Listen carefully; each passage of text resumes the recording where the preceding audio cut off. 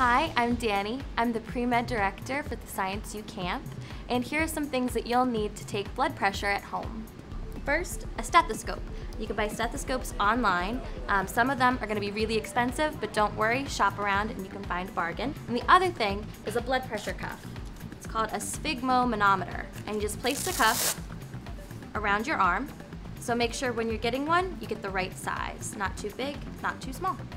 When you're pumping up someone's blood pressure, you place it around their arm and use your pump to pump it up high. The gauge will go up, just don't pump it up too high or the bag inside will burst. This is a great activity to do at home because you just need two items that you can find online and you can take blood pressure from any member of your family. When we do this activity, we really want students and the campers to feel like real doctors. We want them to understand how the heart pumps blood throughout the body and that sound the heart creates, the lub dub, can be heard with a stethoscope and then measured with a blood pressure cuff. How hard is the heart beating to get the blood through the body? And that even if we're in the arm, we can still hear the heart beating and pumping and pushing that blood throughout the body.